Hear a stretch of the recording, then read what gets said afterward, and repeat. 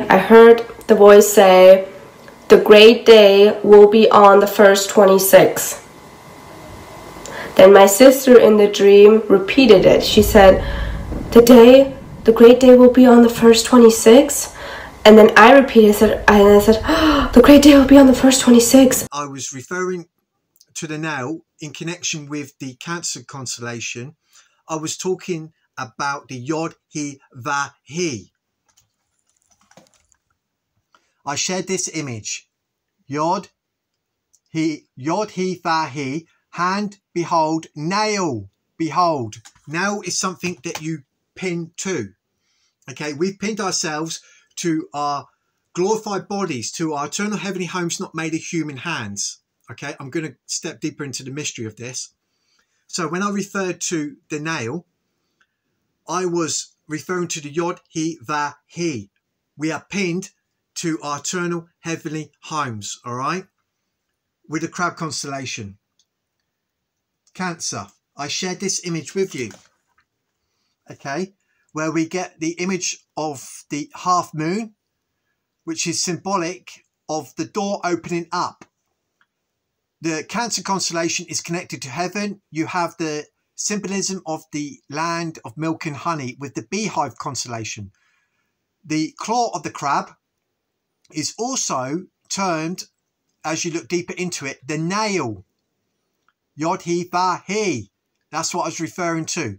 And I saw a comment in this constellation this morning where we get the presentation of a separation of the believers and non-believers. Of every one of God's approved true seventh month moons, you'll see the moon in the constellation of Cancer, which is the actual, the old time picture was the sheepfold, but it also represents a, a crab because it has those big claws and he can grab and nobody can snatch him out of your hand. Uranus, right, in the constellation of Taurus near Pleiades. Uranus is tied with heaven. We've got the half moon in Cancer, which is tied with heaven, with the beehive cluster in the middle, the land of milk and honey. Many of us are flipped to the heavenly man, Adam, waiting to return into the land of the living in expansions of ourselves in our eternal heavenly home not made of human hands. Shemini Atzeret has the gematria value of 1170. So 117 in God's word, he defined it by the first time he used it in Genesis, he said, let it divide. And the gematria is 117. And then we've taught on this many times, but the exact middle of the Bible is Psalm 117. Let it divide. So God said, let it divide.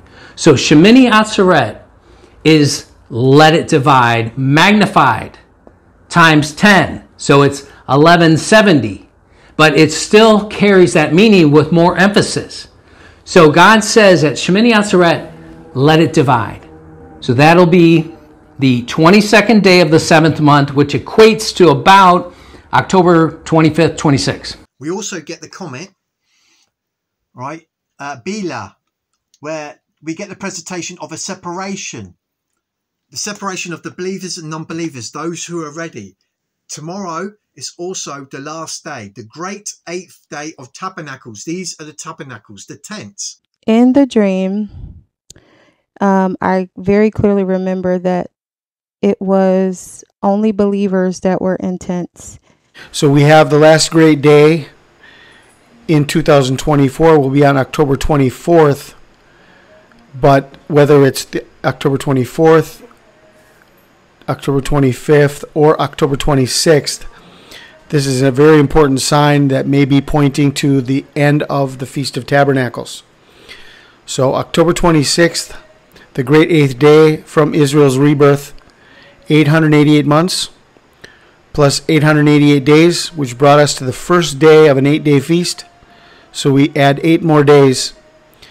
The great eighth day of tabernacles, anywhere from October 24th through October 26th. I heard the voice say, The great day will be on the first 26. Then my sister in the dream repeated it. She said, The day, the great day will be on the first 26. And then I repeated, said, and I said, oh, the great day will be on the first 26. And like, then we got really excited. we got really excited after that. And then the dream, I woke up after that. I mean, it woke me up this strong because I felt like my soul was going to leave the body. It was another rapture dream, but it was confusion about the date of a celebration. And the two dates of confusion was the 24th and the 26th. But in this dream, she kept saying, she was telling me that her mother's party was coming. She said, My mother's party is coming. It was almost like she was inviting me. And I said, Well, when is it? She said, It's the 24th. She said, It's the 24th. And she repeated it a couple times. She was like, No, is it the 24th? And she just kind of like stood there and pondered. She wasn't sure if she had the day right. So after pondering for a couple seconds, maybe 10, 15 seconds, she finally blurted out and she said, No, it's the 26th. It's the 26th for sure. It's the 26th. And I woke up after that. But what really stood out to me again was I was this is the first time in over a year, guys, because that was 2020, that I received that dream. That the Lord has even given me a dream referencing 26 again. So I prayed about it. I knew He wanted me to share it again. I don't know. I don't have a, I don't have a month. I don't have a year.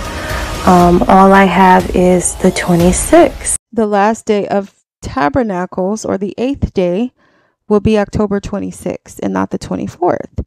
But if they are celebrating Yom Kippur on the 12th, then for them, the eighth day would be the 24th. And I think this is what the confusion was about um, in this dream. I heard the voice say, The great day will be on the first 26. Then my sister in the dream repeated it. She said, The day the great day will be on the first 26 and then I repeated it and I said oh, the great day will be on the first 26 and like then we got really excited we got really excited after that and then the dream I woke up after that. I mean it woke me up. This strong because I felt like my soul was going to leave the body. There was confusion about whether or not this celebration was going to be on the 24th or the 26th. And she said, nope, 26, and then she reaffirmed it. he told me first of 26 so the rapture could happen anytime before that or very close to that. From the rebirth of Israel, May 14th, 1948, if you add 888 months and 888 days, it brings us to October 18th, 2024. Now, if this is the first day between October 17th and October 18th, the first day of an eight day feast, then here we have a sign of eight that brings us to the to the first day of the Feast of Tabernacles, and then if we go eight more days, 896 days is 888 days plus eight more days. It comes to October 26th. What was ironic about this dream was that we were outside and we were in tents, right? So I'm praying to God about this. You know, what is it? Is it anything to this tabernacle? And then all of a sudden, I'm I'm having a dream about believers being in a tent. And what really stood out to me, guys, was that we were in tents, a bunch of believers, and I'm not sure if you guys have heard of Dana, Pastor Dana Coverston, and his dreams that he has been sharing. Basically, we were in tents, and Dana Coverston is literally holding a mic and all through the dream, he's just retelling his dream, just constantly retelling his September dream. And then I kept seeing the number 26. 26. I have no idea what this number means. I kept hearing Go Gregorian calendar. Gregorian, I hope I'm saying that right, but that's what I kept hearing. And I got up and I looked that up. Obviously, I was trying to look it up with the number 26. And 26 literally mean love feast. So, what I believe is, especially after receiving this dream from the Holy Spirit yesterday, I really truly believe that Jesus is coming back, Feast of Tabernacles. I heard in a male audible voice, I heard 26 Gregorian, 26. And I heard 26 very loudly coming close to my ear. And then I would hear Gregorian as it was fading out. And then I saw 26. This was when I first started learning about the Strong's Concordance numbers and the Lord talking through these numbers. And um, I, looked up what 1234 meant. It means to break open or through, like to burst through the sky. Um, anyway, all the numbers on it was like rapture numbers, a collection of men, harpazo, 73 means gathering, all these numbers that meant that. This is called the baptism of the Lord. And you see the depiction of the Holy Spirit, the dove, and the water, etc. If you have a look at this Ancient of Days depiction of wisdom, the Father, you'll see there's crab claws pointing to Cancer. There's also another mosaic where you see this ancient one, okay, just a depiction of a wise one, ancient one, with crab claws. This is from the Mayans. It's a crab claw, right? I found that really fascinating. Sorry, can you see that? There you go. Trying to get the contrast right. Right? This scorpion and the claw of the crab. You'll see a lot of the crab symbolism with the Mayans, talking about the end. Hence, Father is shouting at us about the Cancer constellation and with the luminaries that we've had, all the harbingers, the signs of the um, harvest, the wedding, the ring.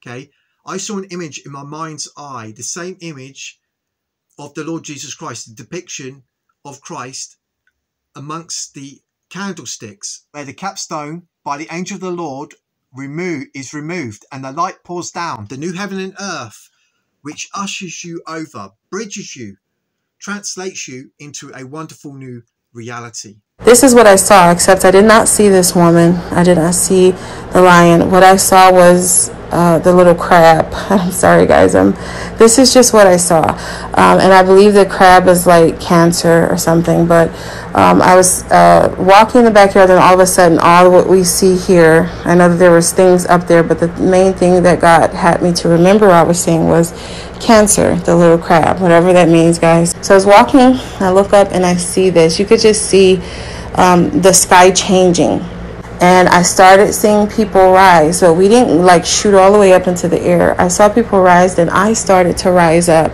And when I started to rise up, we were like at the sky, but we didn't like leave the earth yet.